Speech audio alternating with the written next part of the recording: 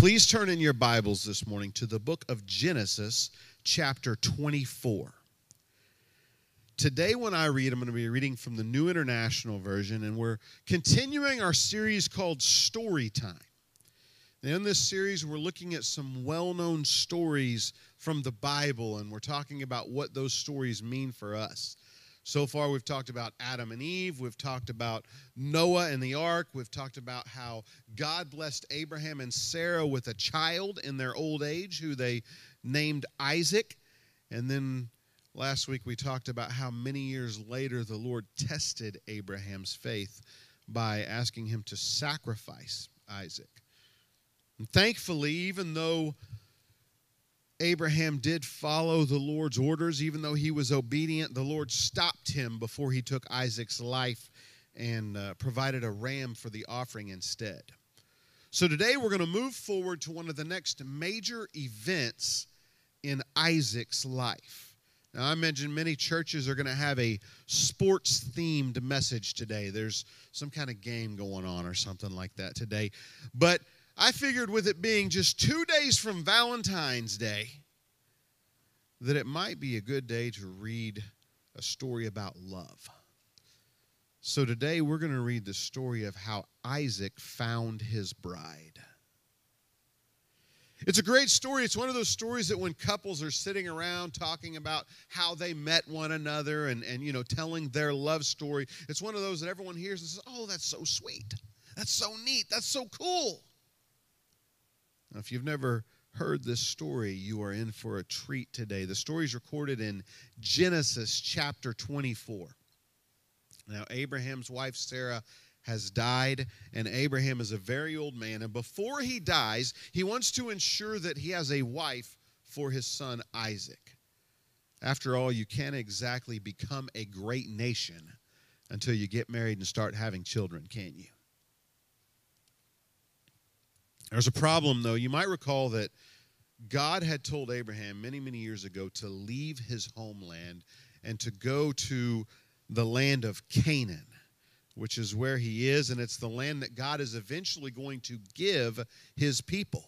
In fact, it's the land that we refer to as the promised land. It's the land that God promised Abraham he would give to his offspring. So Abraham and Isaac are living in Canaan, and Abraham wants to ensure that Isaac doesn't marry a Canaanite woman. Now, the Bible doesn't lay out very clearly why Abraham doesn't want Isaac to marry a Canaanite woman, but we can use context clues to figure it out. I think the first reason might be the fact that the Canaanites were cursed. You may recall that when Noah got off of the ark, one of the first things he did was planted a vineyard. And then when that vineyard produced grapes, and those grapes produced juice, and that juice became fermented, and that fermented grape juice became wine, Noah drank it, and he ended up getting drunk and getting naked and passing out in his tent. And his son Ham went into the tent and he saw his father naked. And instead of covering him up and keeping it to himself, he chose to go out and tell everybody about it. So when Noah woke up, he wasn't very happy and he cursed Ham and his son, whose name was what? Canaan he cursed the Canaanites and said that they were a cursed people. That may be why that Abraham didn't want his son marrying a Canaanite. Or, or, it could be the fact that they, we know, worshiped idols and false gods, which was an act that was detestable to the Lord. So Abraham didn't want Isaac finding a Canaanite woman, and that makes him decide in verse 2 to tell his most trusted servant to return to his homeland and find a wife for his son Isaac. And Abraham doesn't just want his servant to say that he's going to do it, he wants him to swear an oath to God that he'll go back and he'll get a wife for Isaac. Now, the servant is worried that, that even if he goes back and even if he finds a woman who's willing to marry Isaac, who she's never met or even seen, that there's a chance that this woman might not want to actually leave her homeland and come to Canaan. So he asked Abraham, he says, Abraham, listen, I'll go back and do this, but if I find your son a wife and she's not willing to come here, what do you want me to do? Do you want me to just take Isaac back there? Well, Abraham knows that the Lord brought him to this place and that the Lord promised him this land. And he promised to give that land to Abraham's offspring. So he tells his servant, No, don't do that. Don't, don't ever take Isaac back there. But he says, Listen, the Lord's going to work it out. But even if he doesn't, if you go and you find this woman and she's not willing to leave and come here, then you are released from your oath. So, with that assurance, the servant swears an oath to God that he will go back to Abraham's homeland and he will find a wife for Isaac. And then he loads up 10 camels worth of gifts and such, and he heads out. Now, the Bible doesn't tell us anything at all about the journey. But depending on which commentary you read, you know that the distance was somewhere between 300 and 600 miles. Now, the difference there depends on where you think that Abraham was and where you think that he came from, but he was somewhere between 300 and 600 miles. So, with camels that travel roughly 25 to 30 miles a day, this trip took somewhere between 10 days and one month. And today we're going to pick up the story in verse number 11 of Genesis 24, right after the servant arrives in Abraham's hometown. Now, I want to tell you up front that we're going to read a lot of scripture today, okay? So so just bear with me. I normally try not to read too much, but but this is a, a good story and it's a long story, and I want you to get it. So here we go, starting in verse number 11. He had the camels kneel down near the well outside the town. It was toward evening, the time when women go out to draw water. Then he prayed, Lord, God of my master Abraham, make me successful today and show kindness to my master Abraham. See, I am standing beside this spring, and the daughters of the townspeople are coming out to draw water. May it be that when I say to a young woman, Please let down your jar that I may have a drink, and she says, Drink, and I'll water your camels too, let her be the one that you have chosen for your servant Isaac. By this I will know that you have shown kindness to my master. Before he had finished praying, it says in verse 15, Rebekah came out with her jar on her shoulder. She was the daughter of Bethuel, the son of Milcah, who was the wife of Abraham's brother Nahor. The woman was very beautiful, a virgin. No man had ever slept with her. She went down to the spring, filled her jar, and came up again. The servant hurried to meet her and said, Please give me a little water from your jar.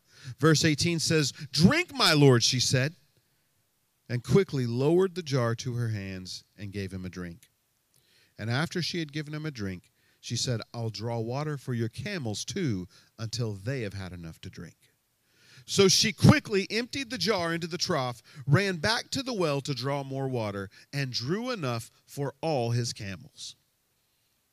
Without saying a word, the man watched her closely to learn whether or not the Lord had made his journey successful. When the camels had finished drinking, the man took out a gold nose ring weighing a beka and two gold bracelets weighing ten shekels. Then he asked her, Whose daughter are you? Please tell me, is there room in your father's house for us to spend the night? In verse 24, she answered him, I am the daughter of Bethuel, the son of Milcah, bore to Nahor. And she added, We have plenty of straw and fodder, as well as room for you to spend the night. Then the man bowed down and worshiped the Lord. Praise be to the Lord, the God of my master Abraham, who has not abandoned his kindness and faithfulness to my master. As for me, the Lord has led me on the journey to the house of my master's relatives. The young woman ran and told her mother's household about these things. As soon as Rebekah finished telling her family about this man, her brother ran out to meet him. He invites Abraham's servant and his men to stay with him. They bring out food for everyone to eat, but the servant refuses to eat until he gets an answer. he tells them about Abraham and about Isaac and how Isaac was born to Abraham at an old age. And he, he retells the story of the entire event from the oath to the trip to his prayer to everything that happened at the well. And then he says, So, what do you say? Rebecca's family agrees that she will marry Isaac, and the servant presents gifts to Rebecca and to her family. And this brings us all the way down to verse 54. And I want us to read just the next few verses together. Starting in verse 54, it says, Then he and the men who were with him ate and drank and spent the night there. When they got up the next morning, he said, Send me on my way to my master. But her brother and her mother replied, Let the young woman remain with us for ten days or so, then you may go. But he said to them, Do not detain me. Now that the Lord has granted me success to my journey, send me on my way so that I may go to my master. Then they said, Let's call the young woman and ask her about it. So they called Rebekah and they asked her, Will you go with this man? I will go, she said. So they sent their sister Rebekah on her way, along with her nurse and Abraham's servant and his men. Rebekah then returned to Canaan with Abraham's servant, where she met Isaac and she became his wife. And they lived happily ever after. Isn't that a cool story? Rebecca becomes the wife of Isaac, and, and eventually she'll become the mother of a child that will be named Israel. Rebecca will be the grandmother to the 12 heads of the tribes of Israel. But she wouldn't be if it weren't for this story. If Abraham hadn't sent his servant, or if his servant had chosen not to go, or if, if things had gone differently at the well, uh, if, if her family had said no, or if Rebecca that morning had said no, then she never would have been used by God for this extremely important assignment. Have you ever thought about that? So many things had to line up just right for Rebecca to be able to fulfill her destiny.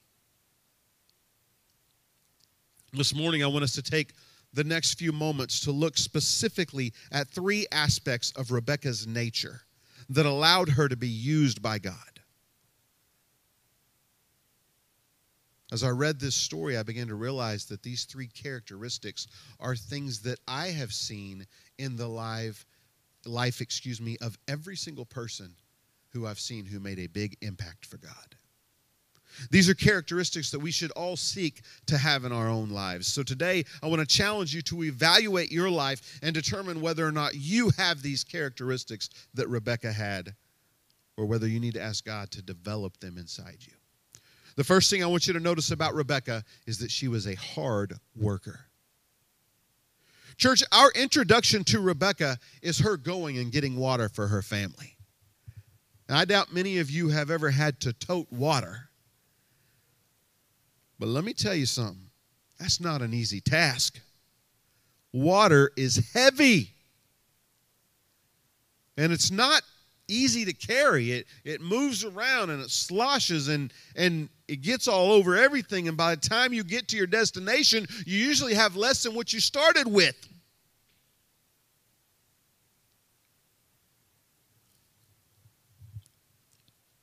And here Rebecca is not whining or complaining, but simply carrying water for her family, carrying water for her home. Well, Pastor, that's what she's supposed to do. It's her responsibility. Yeah, you're right.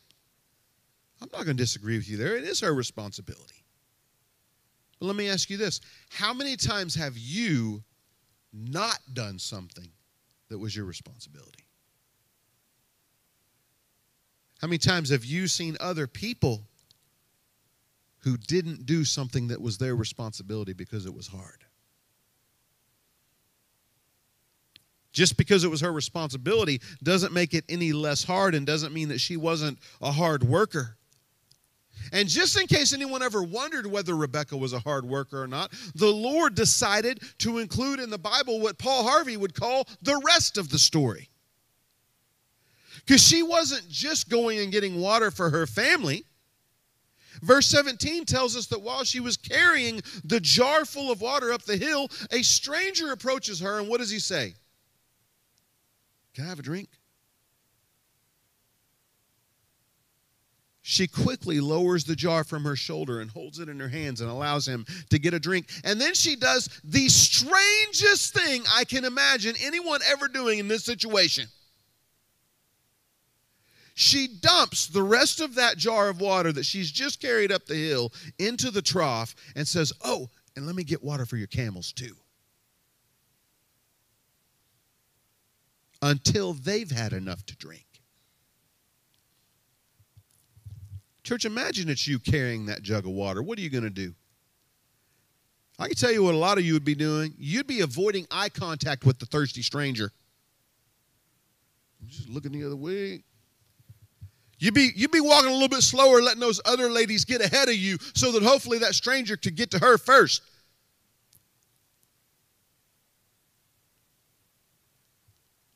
You certainly wouldn't be saying, Sure, have some of this water I just got. And while you're at it, let me get some more for your camels. Your 10 camels.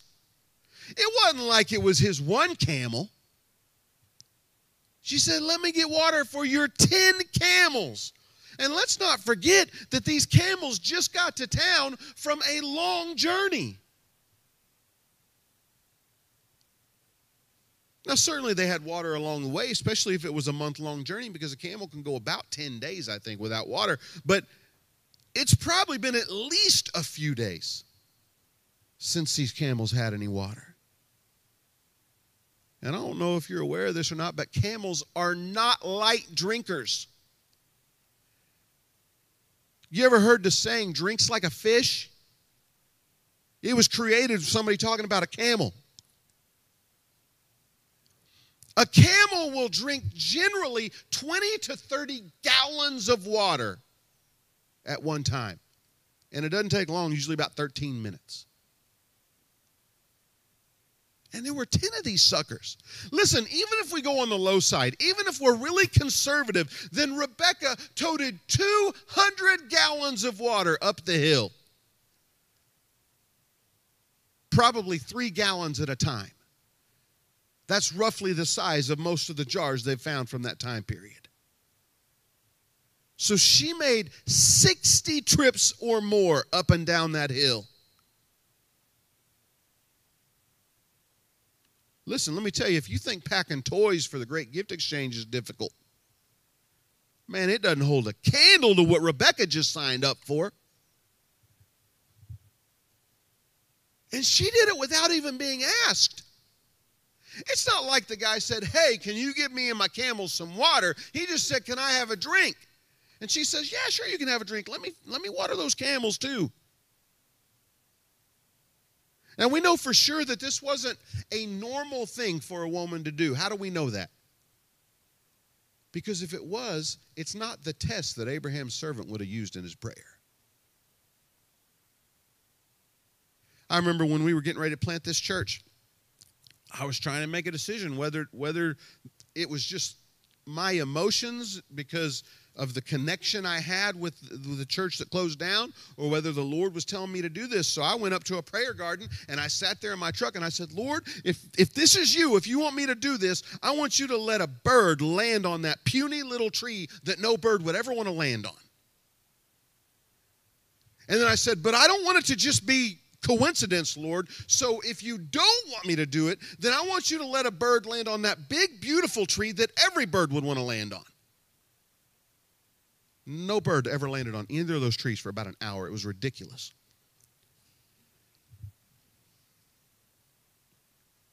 The point is, I didn't choose something that was likely to happen for my test, did I? And this man wouldn't have chose something that was likely to happen for his test. So we know that this wasn't a normal thing. But Rebecca just offered to do it because Rebecca was a hard worker. Let me tell you something. If you're ever going to make a difference for the Lord, you need to be a hard worker too. Paul talks about this in Second Thessalonians chapter 3. He tells us the church that anyone who's not willing to work shouldn't eat. That's how important it is to be a hard worker. Says if they don't work, don't let them eat. And then he reminds us to never tire of doing good works. First thing I want you to know is Rebecca's a hard worker. The second thing I want you to know is that Rebecca had a generous and hospitable spirit. Now, listen, this is illustrated by her actions too, right? She's going out of her way to do this for this man, but but she didn't just give the man a drink, and she didn't just water his camels. She also said, "Oh, and you know what? You can come spend the night with us too." Bring your camels, bring your men. You guys come stay with us. Verse 25 says that she tells Abraham's servant, We have plenty of straw and fodder, as well as room for you to spend the night. You know, it's interesting to me that Rebecca made this offer without ever talking to her family. Did you notice that? She made this offer before her brother got a chance, before he had even met this man. Can you imagine how things would have went if Rebecca said, Oh, yeah, and you can come stay with us too? And her brother said, What did you just say? I'm sorry, what? But I don't think that would ever happen because you'll notice the first thing that her brother did when he heard this story. The Bible says that he hurried, everybody say hurried. He hurried out to meet Abraham's servant. And when he got to him, he said, Man, what are you doing still out here? Come on. He said, I've already prepared the house and we've got a place for your camels. Come to the house. Let's go. You're staying with us.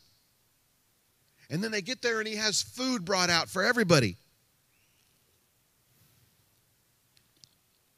See, I believe that, as is the case much of the time, that these siblings were generous and hospitable because they had been brought up to be generous and hospitable.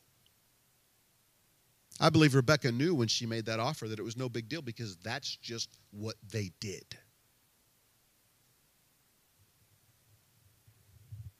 They were brought up to provide for the needs of others. They both responded in the same way because they were both trained to do the same thing. And I don't believe that their generosity and hospitality went unnoticed. We know that it pleases the Lord. We know that the Lord loves a cheerful giver, that the Lord loves it when we are generous people.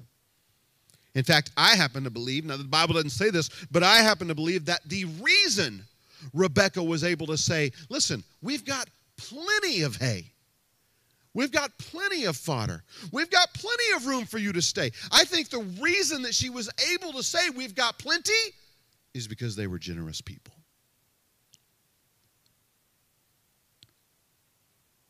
It's because they lived their lives as people who share.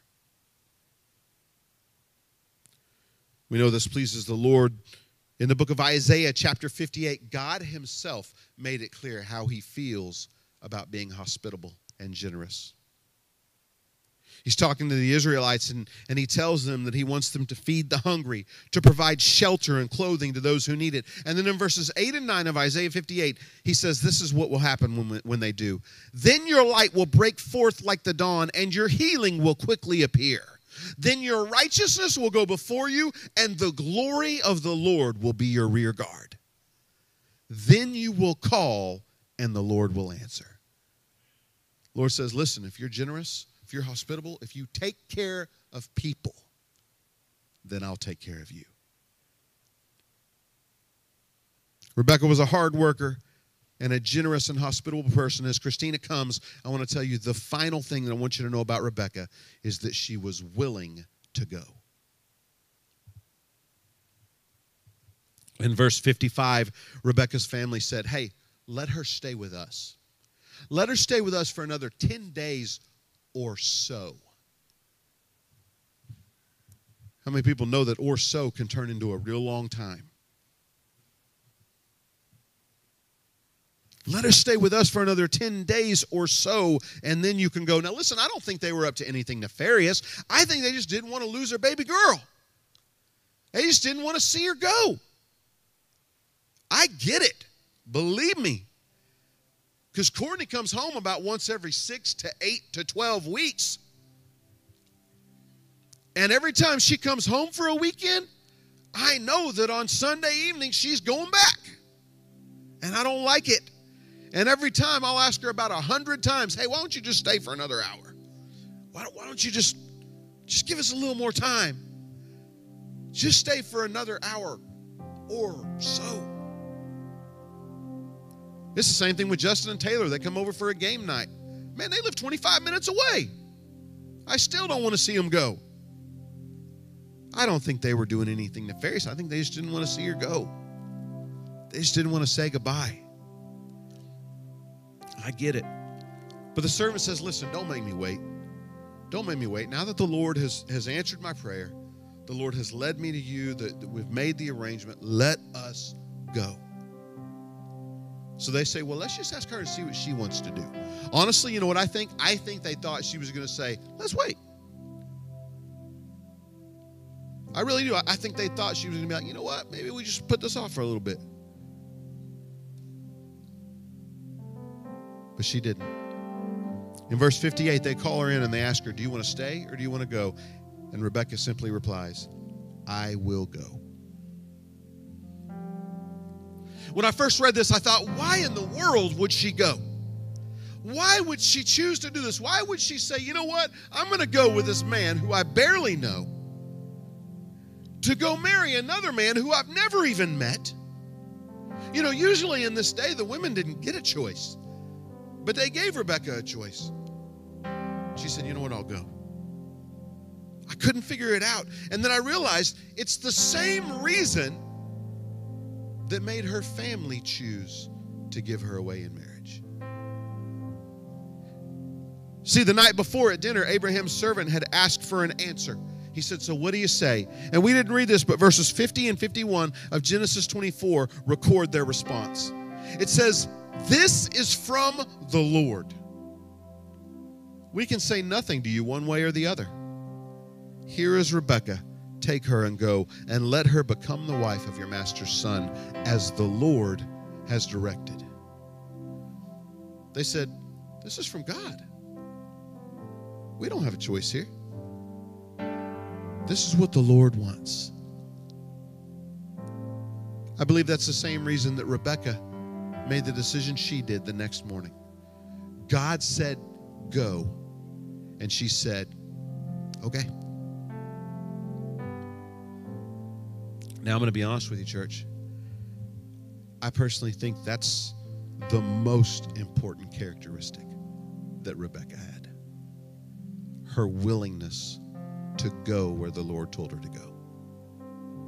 And sadly, I think it's also the, the one characteristic that many people today don't have. You see, we'll spend hours, days, weeks planning our futures, planning our schedules, planning where we're going to live, where we're going to work, what we're going to do, without giving any thought at all to what God wants. And then when God does stick his nose in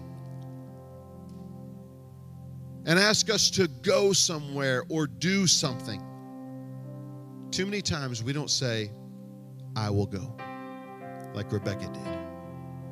Too many times we say, Well, Lord, let me just check my planner. Let me just see how that fits into the plans that I've made.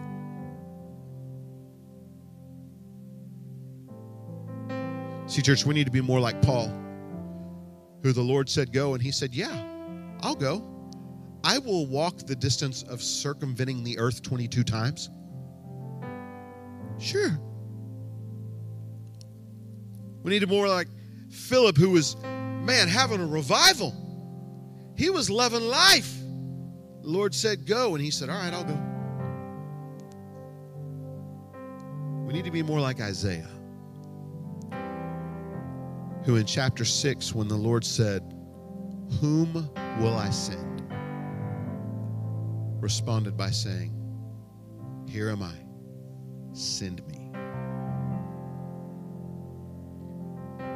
Rebecca was a hard worker. with a generous and hospitable spirit. And most importantly, I believe, she was willing to go. Today, I'm going to ask everyone in the room to bow your head and close your eyes.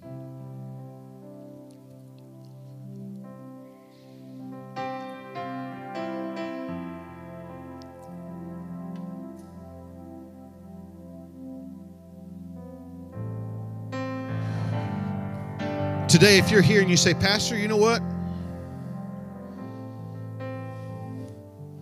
If I'm really honest, I don't like hard work.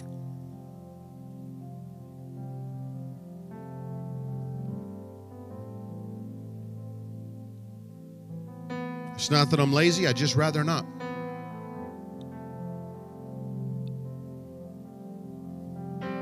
Sometimes I do things. I don't volunteer at outreaches. I don't help with setup or tear down. I don't serve in the church or, or I don't do whatever just because I I'm I just don't want to. I just don't like hard work.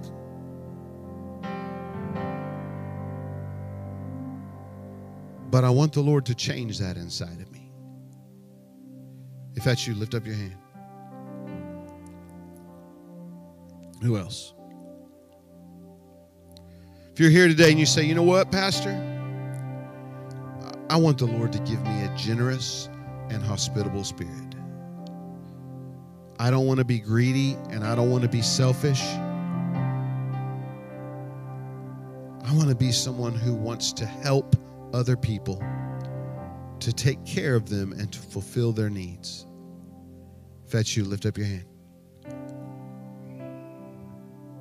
Thank you. Else? Bunch of hands. You put your hands down. If you're here and you say, you know what, Pastor? Sometimes I get caught up in my own plans.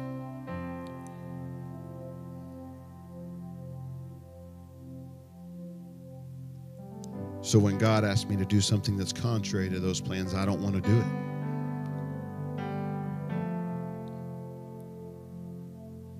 Him to help me be willing to go wherever He calls me.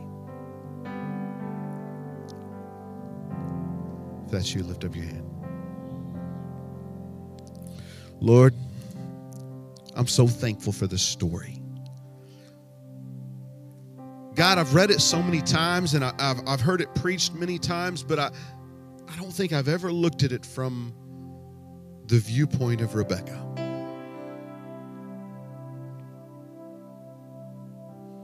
I'm thankful that you gave us a window into her life, into her mind and her characteristics, Lord, ultimately into her heart. That you've given us this example of how we can live in such a way that you can use us to do great things. Lord, you see all the hands that were lifted and all of the different responses. Today, Lord, I pray that you'll help us.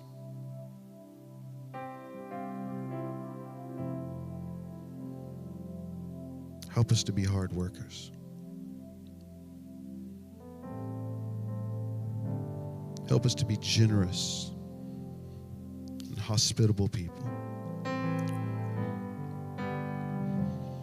And Lord, help us to be willing to go wherever you tell us to go and to do whatever you tell us to do.